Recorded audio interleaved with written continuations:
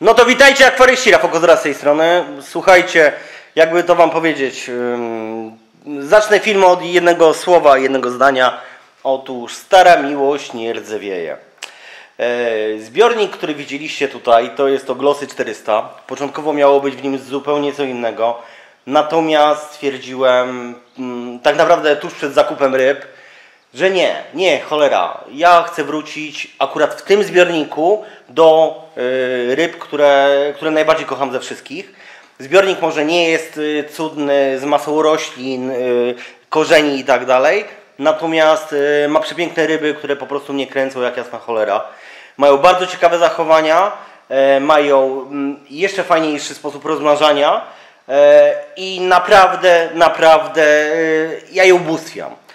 Więc tak mówię, stara miłość nie rdzewieje, zawsze miałem Malawi, zawsze wracałem do Malawi i tak się stało też w tym przypadku. Dobrze, że przed zakupem ryb. Natomiast tamten zbiornik, który widzieliście wcześniej, w trochę mniejszej wersji wyląduje u mnie, u mnie w sypialni.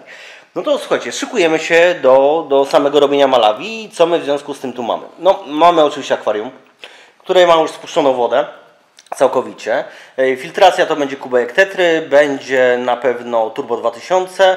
Do tego dojdzie albo Turbo 2000, albo jeszcze coś innego.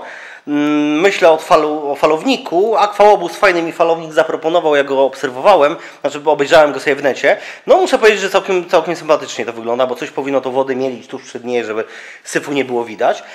Yy, więc dzięki Aquaobus myślę, że to przemyślę.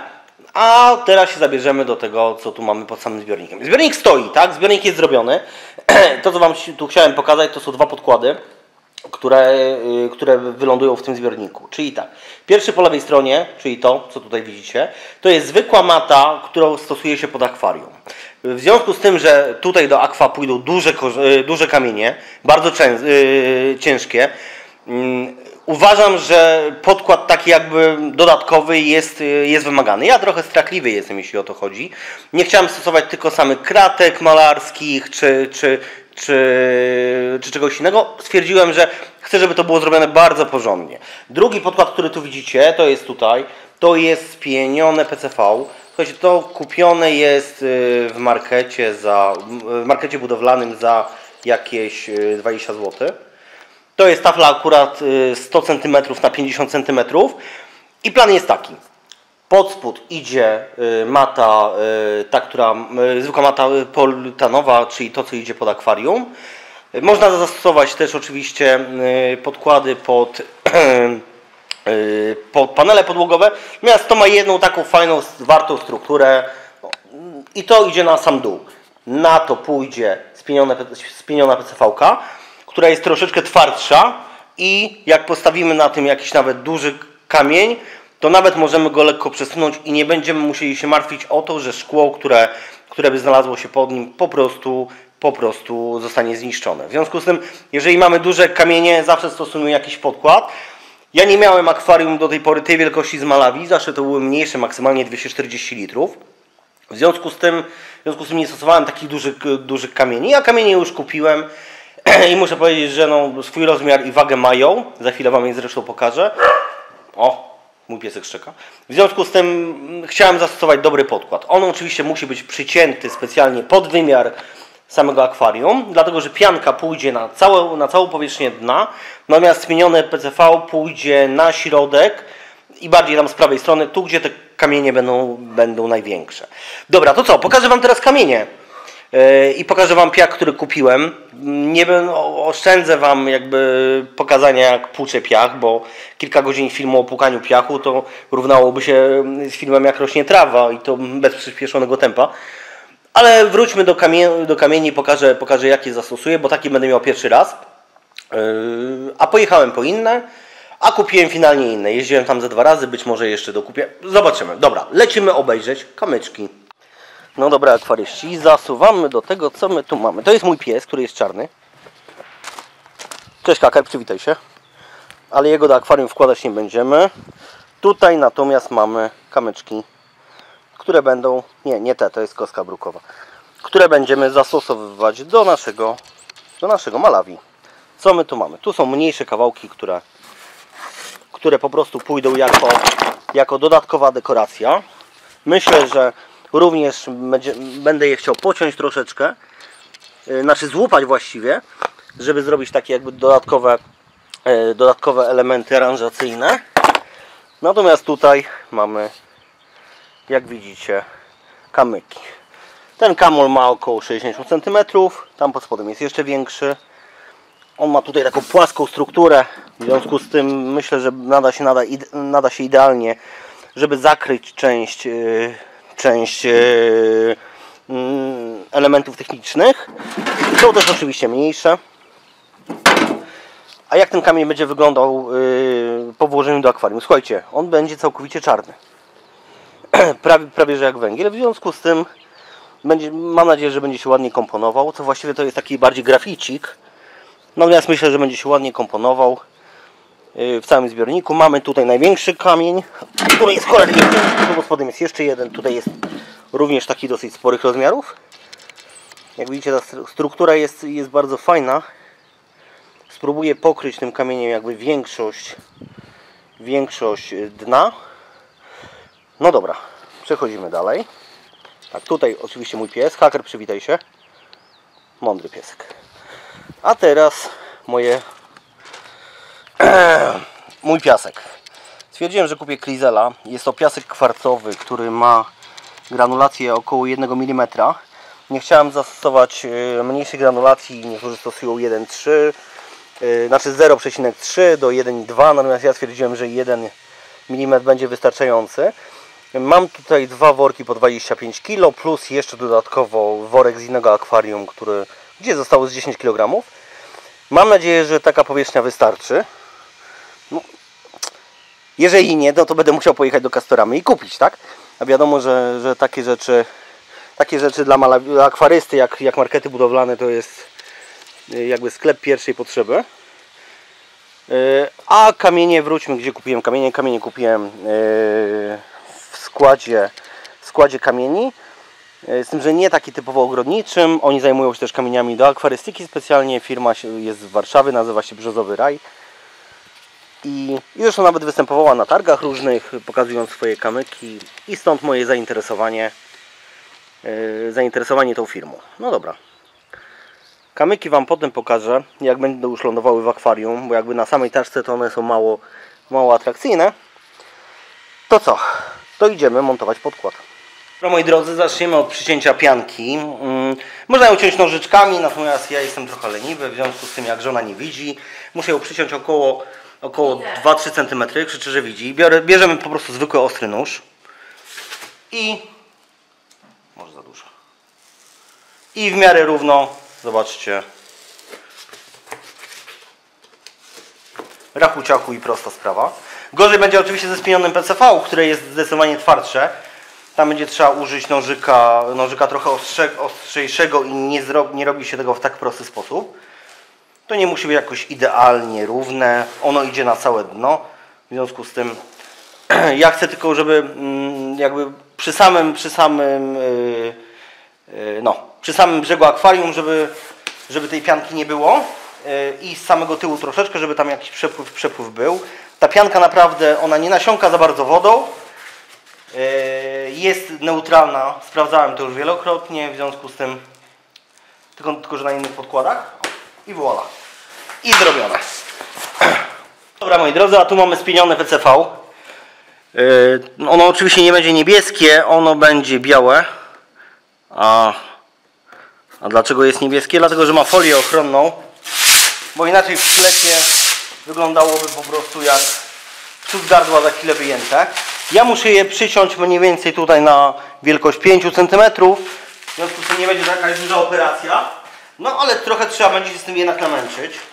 Bo spienione PCV już nie jest takie łatwe w obróbce jak... Yy, jak sama pianka, o której mówiłem przed chwilą. I będziemy musieli je przyciąć. Z tego wystarczy zwykły nożyk. Zaznaczę sobie, w których miejscach mniej więcej będę chciał ją przyciąć. Zobaczcie, nóż wchodzi. To jest akurat pianka, która ma grubość 3 mm. Uważam, że to jest wystarczające. Zresztą pytałem jeszcze na forach internetowych, ponieważ takiej pianki nie stosowałem, stosowałem inne podkłady. Teraz mówią, że 3, 3 mm jak najbardziej wystarczają. Patrzcie, pianka się przycina. Natomiast ona jest na tyle, na tyle twarda, a jednocześnie na tyle plastyczna, że y, duży korzeń, y, duży kamień nie będzie, nie będzie rysował nam szkła w momencie, kiedy będziemy ją stosować. Także najpierw idzie, idzie pianka, na to idzie spienione PVC, PCV, PCW, różnie to ludzie nazywają. Ja całe życie nazywałem to spienione PCV, mimo że wiem, że to się nazywa PVC. Tak? Ale to jest bardzo fajny materiał, z tego się robi i pokrywy, z tego się robi, yy, yy, robi yy, szyldy reklamowe, no i jak widać można zastosować to do akwarystyki. Dobra, ja to sobie zaraz przytnę, a potem Wam pokażę jak jakby całość wygląda już włożona do samego akwarium. Dobra. No dobra, moi drodzy, jesteśmy za pierwszym układ, po pierwszym układaniu. Jak widzicie, na dół poszła pianka na całej powierzchni akwarium. Tutaj poszło, poszło to spienione PVC, PCV i na tym poszły dwa najcięższe kamienie. Tutaj, gdzie jest, znaczy przepraszam Was za światło, ale jest y, środek dnia.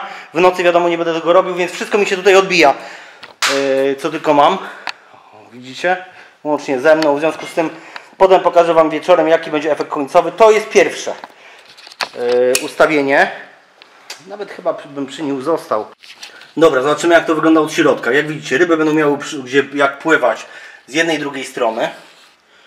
Będzie swobodny przepływ, więc ta cyrkulacja wody nie będzie w żaden sposób zachwiana. Tutaj, jak mówiłem, tutaj wcale nie trzeba tego wspomnianego PCV, PVC, jak zwał, tak zwał. Dlatego, że tu będą małe kamyczki. Wystarczy sama pianka w zupełności i 20 zł w kieszeni. Natomiast ten kamień tutaj, który widzicie, on częściowo zasłoni filtrację, poza tym będzie tworzył jakieś tam kryjówki dla ryb, dlatego że jest fajny, fajny taki pochylony, bardzo ciekawy. A tutaj będziemy robić takie półki skalne. Oczywiście innego rodzaju kamieni tutaj nie będzie.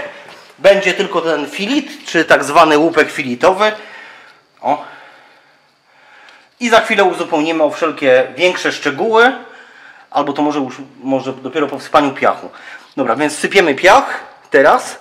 Yy, doleję trochę wody, żeby ten piach się ładnie rozkładał yy, na podłożu i dopiero potem na to pójdą inne kamienie.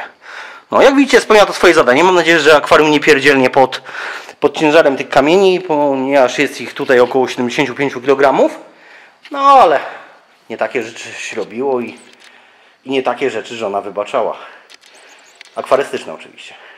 No dobra, moi drodzy, jak widzicie, pierwsza warstwa podłoża już jest, czyli tak naprawdę zakryte jest zakryte jest całe dno.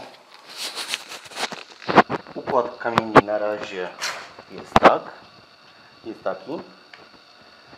Sorry, ale robię w świetle dnia, wszystko mi się odbija w akwarium. Potem wieczorem zrobię całe podsumowanie. Dobra. E, Oczywiście tego piachu dojdzie jeszcze tutaj ze 30 kg, dlatego że no, pyszczaki kopią i pyszczaki muszą mieć w czym kopać, dlatego że taka jest ich natura. Dojdzie trochę więcej kamieni oczywiście. Jeszcze trochę ich tutaj, tutaj mam. W związku z tym myślę, że oprócz tych czterech wskoczą tutaj jeszcze inne, żeby jakby zaaranżować ładnie to akwarium. Zobaczymy co dalej. Może jeszcze dołożę jakiś większy kamień, ale to musiałbym po niego pojechać, zobaczymy.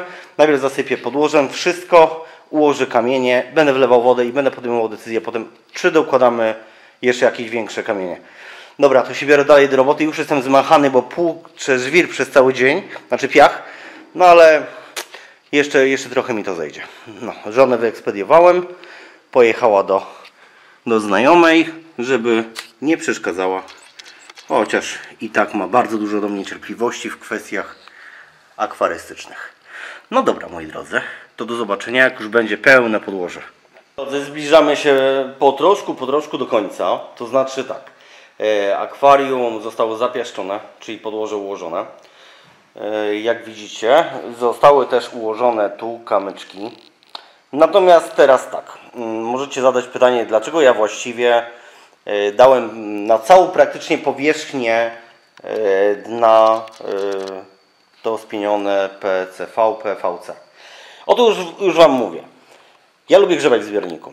Zawsze lubiłem, przyznaję się do tego. Lubię zmieniać.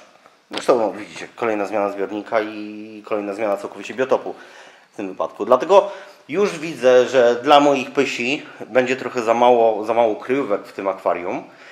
Bo będzie tych rybek trochę tutaj pływało. W związku z tym już wiem, że tutaj na środek, gdzie teraz stoimy, tutaj, pójdzie jakiś duży jeszcze kamyczek, jakby taki, yy, który będzie pokrywał jeden i drugi yy, trochę, trochę kamień. Yy, w związku z tym, gdybym nie miał tam żadnej kratki, ani żadnego podłoża, no bo istniałaby obawa, że no, że jak go postawię, że to że coś się może stać, tak? Jeżeli byłby to kamień jakiś tam cięższy.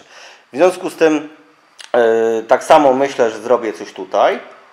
I dlatego i na pewno dołożę więcej, więcej tych elementów dodatkowych, czyli tych małych, wszystkich wykończeniowych, nazwijmy to, yy, kamieni, tak? Ale one jakby nie potrzebują specjalnego podłoża. Chodzi tutaj głównie o, o te kamienie największe.